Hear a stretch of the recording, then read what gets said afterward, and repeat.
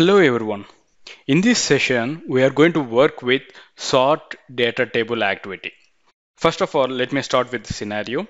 If you see on my screen, I'm having student informations that we are going to read this entire data by using read range activity and we are going to store this output into the data table, right? Let's assume I want to sort the data uh, based on the student's name. I want to get the output from the student name based on the order, like ascending order and descending order.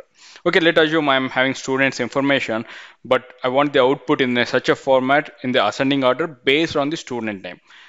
Or else, let me give you one more scenario. We'll work on these two scenarios right away.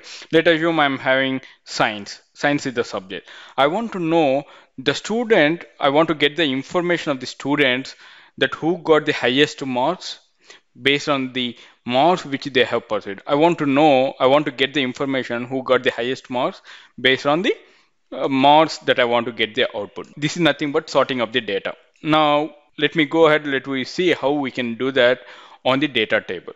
Let me switch to UiPath Studio. I have already created a sequence with the name of sort data table. In the sort data table, I am using Excel application scope to open the Excel and by using read range activity, I'm going to read the data from the sheet one and I'm going to store the data in the data table that is var data table as a normal process. Now I want to sort the data in the in the data table. How can I go ahead and do that? Let me go to activities. Now let me go for the activity called sort data table. You will find this activity under data table and uh, that is sort data table. If you mouse over on that, what it will say is it will sort a data table by ascending or descending order based on the values of a specified column. Okay, now if you drag and drop this activity under the panel and then we'll see the properties over here of the sort data table. The first property is the input that is the data table which data table we want to sort the data. That is, I will give it as var data table. That is the output from the read range, right? Now, before going to the output, I'm going to talk about the columns. We will talk about these columns later on. Now we'll talk about the index. Index is nothing but as we have seen already, the uh, we will start from the columns basis 0, 1, 2, 3, 4, and so on, right?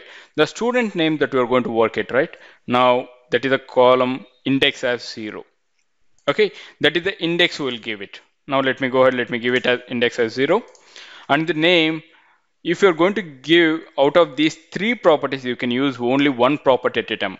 You can use column or index or column name.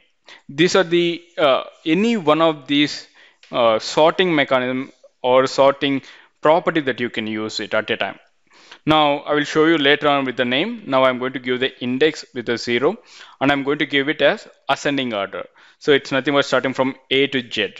Okay, and zero to uh, one, two, three like that. Okay, now I have given the input and then I'm given the index as zero. That is nothing but indirectly that is the student name and order I'm going to give it as ascending order. Now where I want to store the output, I will say sort I will give it as sort data table is the output where I want to store. Now, if you see in the variables, the variable with the name of sort data table with the variable type data table has been created. Now, once the data has been sorted, as a best practice, what we are going to do, we're going to write range activity. We're going to write the data by using write range activity. Now let me drag and drop onto the panel after sort data table. Now what I'm going to do, I'm going to give the sheet name over here. Simply uh, sort sheet. And then I'm going to give the input for the write range. What is the input? What is the output coming from the sort data table? That is nothing but sort data table is the input for the write range, right? Now let me go ahead, let me give that sort data table. Now let me go ahead, let me save the bot. Now let me run the bot. Now if you see the new sheet has been created and you can see over here Ajay, Amir, but started with this is the string, right? That's the reason you can see from Ajay, A, B, D, and so on, right? This is the way how we are going to be sorting the data. But we forgot one thing, the columns over here, right? Now let me go ahead for the write range, just add the headers and then run the bot once again. Now you can see the columns over here, right? Student name, class, and all these things. Till now, we have seen on the index basis. Now let us assume I want to work on the, I don't know any indexes over there, then how can I go ahead and do that based on the names that I can go ahead. Let assume I want to do on the science.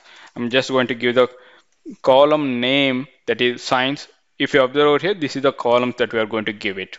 Okay, the same names that we are going to give it over here because of it is going to be stored in the same way in the data table. Okay, because of the default values will come in the same data table which we have given in the output, right?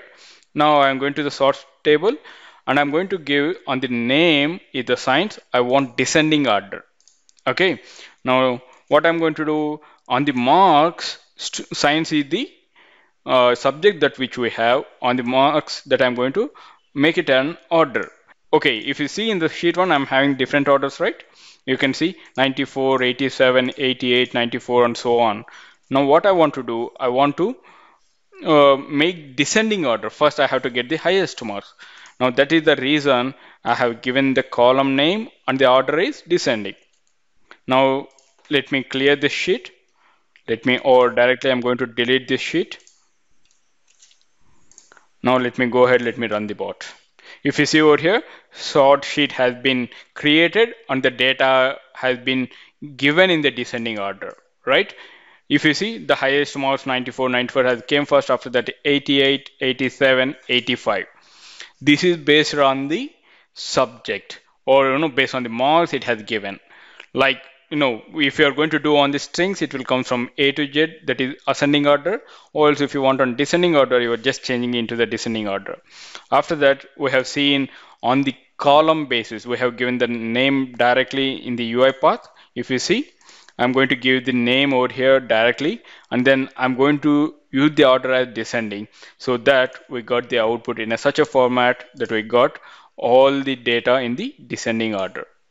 I hope you understand how to use sort data table in this session. Thank you for watching UiPath tutorials. If you have any queries in this concept, please post them in the comment section. I will see you in the next session. Till then, bye bye. Have a nice day.